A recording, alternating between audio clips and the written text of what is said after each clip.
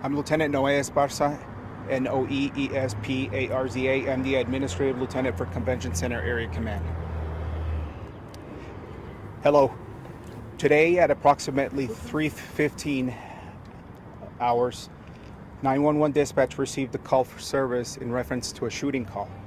Officers responded and located two subjects that were involved. One of these subjects had sustained uh, gunshot wounds and was transported to an area hospital. This subject is in critical condition as we speak. Officers were able to render the scene safe, and this investigation is early and it's ongoing. It's very fluid.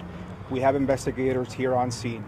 I want to dispel uh, any reports of any active assailant or any active shooter situations. That was not the case here today. The community is safe.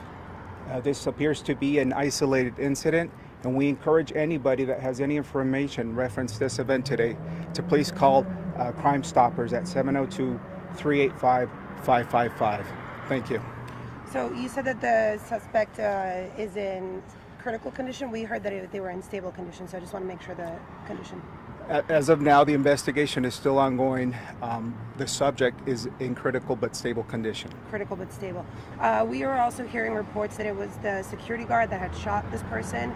Can you confirm this, or can you tell us anything more? The investigation is currently ongoing, and um, I don't have those details as of now.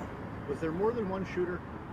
Uh, no, uh, at this time, we believe there was just one uh, subject involved.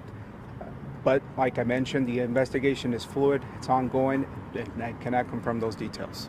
Did you mention the age of the victim or the shooter? And don't have that information as of now. Just wanted to provide you guys with an update and assure the community that they're safe and there is no ongoing incident at this time. The scene is static. Thank you. Are you. you referring to the guy who is in critical but stable condition as the assailant? We don't have that information, sir. Um, investigation is, is still going, fluid and ongoing. Thank you. Thank you Thank you.